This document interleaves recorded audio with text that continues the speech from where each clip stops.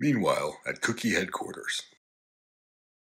Wow, I'm so excited for my first day at work. I hope it goes well. Listen up, fellas. We gotta spread the myth that you can only drink milk when you're having cookies. Well, I think water tastes fine with cookies. Johnson, you're dead! Get out of here! But I like water with my Oreos. I don't want to hear it!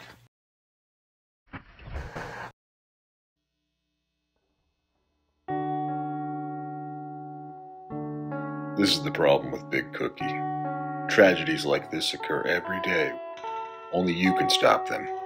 Vote with your gut and your mouth. Eat cauliflower